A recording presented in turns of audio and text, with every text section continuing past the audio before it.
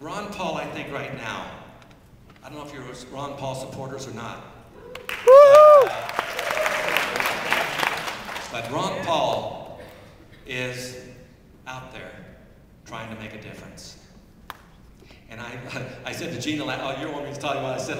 I said, honey, if I had one wish, if someone said, you can have one wish of anything you want. I said, okay. I want to go to Washington.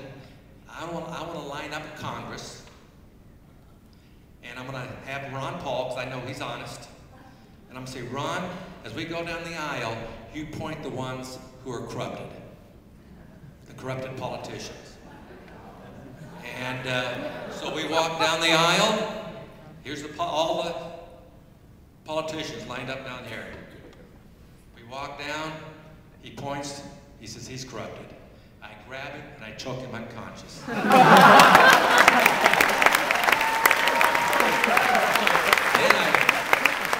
I have my black belt drag him over, drag him out of the way.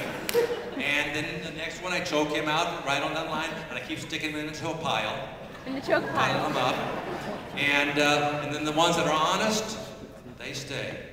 And they have, and they focus on getting us back on our feet. That was my wish.